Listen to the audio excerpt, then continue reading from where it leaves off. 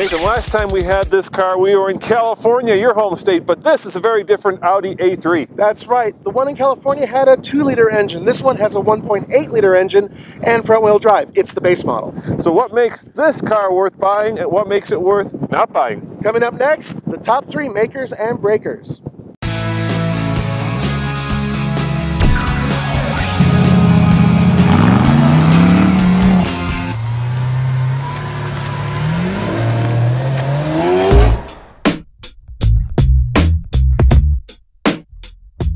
Number three breaker is style. Yes, it's elegant. Yes, it's stylish. Yes, it's an Audi, but it sort of looks like an Audi A4 from two generations ago. Come on, Audi, you can do better. You can make this look sharper than a baby A4.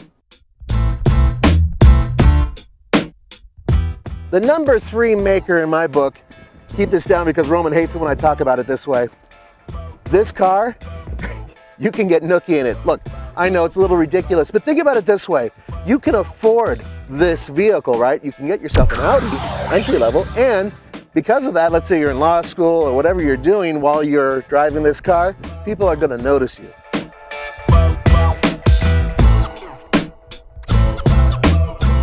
The number two breaker is price. At $34,000, that's a lot of money for an entry-level Audi A3. Sure, it's got a $1,900 technology package, with the satellite navigation, but nevertheless, you're getting into some pretty serious money. You can get a lot of cars at $34,000.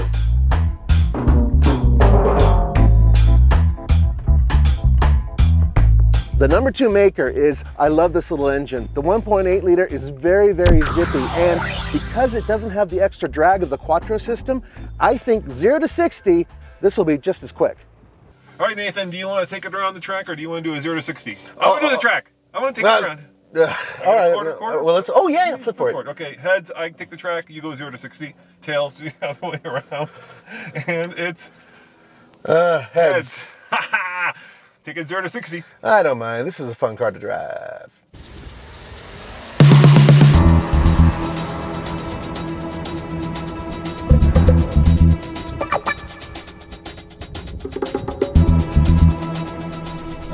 Getting set up for a 0 to 60 run on our racetrack. Roman's coming to yell at me. Okay, I'll do it. Yeah, no problem. I don't think he took his Geritol this morning. All right. Reset. Okay. I've done it a few times before in this model, so I know that traction control off helps and I'm there's no paddle shifters. This is just front wheel drive, automatic transmission. Here we go. Ugh. Okay, so here's the problem right off the bat. Hold on. We run out of room pretty quick here. 9.26. I was hoping for faster. I think I can get faster. 9.26, and here's the problem.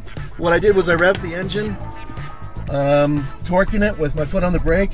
Traction control, even though I have it shut off, still is there and it's retarding the engine power. So this time I'm just going to start flat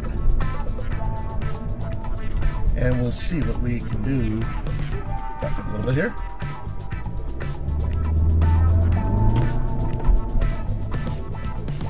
There we go.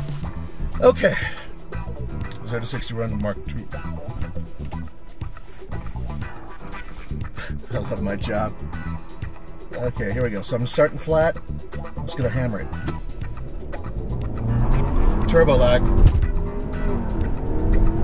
went up past 6,000 RPM redline.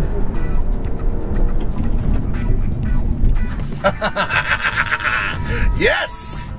I knew it would do better. 7.78 seconds. Now think about that. We're a mile above sea level, so you do lose quite a bit of horsepower. And despite that, 7.78 seconds, for those of you who go, well, dude, my jet is faster. You know what? Up here, maybe not. That's pretty damn good. That's, I like that. It's quick. Yeah, this car kicks ass. 7.78 seconds.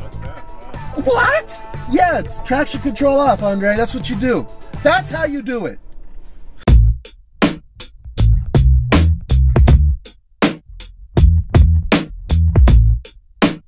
The number one breaker isn't this gem of an engine. It's a turbocharged direct injected four cylinder that puts out 170 horsepower and 200 pound-foot of torque.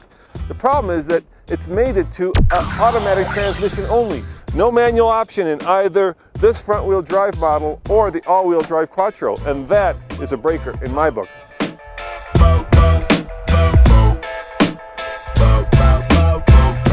My number one maker for this great little car is the fact that it's really fun to drive. Both the 1.8 front wheel drive model and the 2 liter Quattro are really exciting little cars. Look, they're not going to set the road on fire, but they're Audis, they're real Audis. It's not a tarted up Volkswagen. Awesome bitchin' car to drive.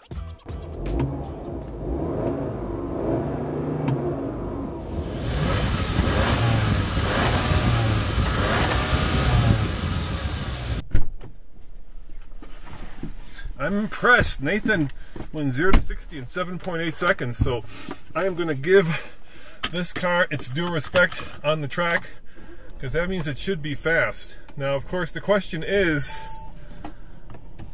how will a front wheel drive car do with a little bit of torque steer because that's always an issue with these cars. I'm going to put it in sport mode and uh, put this headrest just up a little bit. Okay.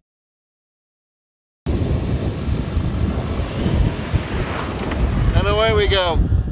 He needs to beat like 1 minute 15 seconds because that's how fast the Jetta went and it would be kind of embarrassing if it didn't beat the Jetta. Here we go. Ooh, a little bit of turbo lag there. Now this is my first time around the track in this car. I always do it that way just because that's the way we've done all of these track hot laps. And I can tell you right now, it's nice and tight. And that engine is staying in its power band. I don't have paddle shifters, which is a shame because this car could certainly use them. It's that lively. Coming around this turn, it's bringing a little bit of back end around, but not much. Oh, this engine is just a gem. Those brakes are really good, actually. Really, really good. Cut this corner. There we go know what? This is uh, exceptional. It's one of the best cars we've had out here so far. It's very neutral, and I can put it exactly where I want it, which of course isn't what a race car driver would do because, you know, this is an everyman approach to taking these cars around the track, but wow, yeah, I'm impressed. Very neutral for a front wheel drive car. Torque steer is almost non-existent. And here we go, last lap. Come on, car, come on all your power. Oh boy, I don't know if he's gonna do it. Here we go. Uh, straight away, it's a little slow. There we go.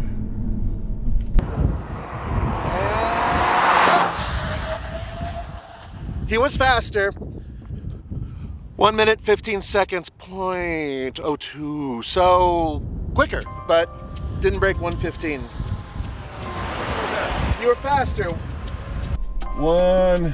Basically. 1502. Not yeah. much faster. Not much faster. But a little bit. A little bit, yeah.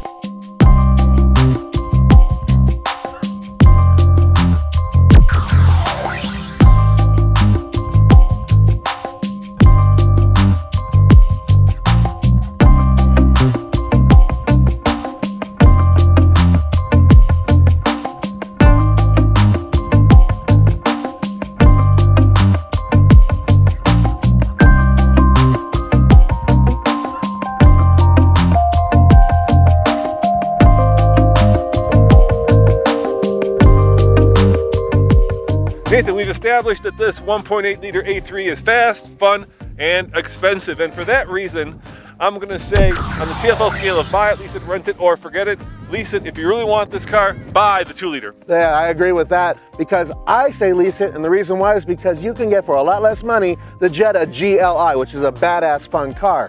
Plus, it doesn't have a stick shift. I know, this thing needs a manual desperately. As always, this is Roman. And Nathan. Saying subscribe for a new car video every day and... Go to TFLcar.com for news, views, and reviews. Ciao.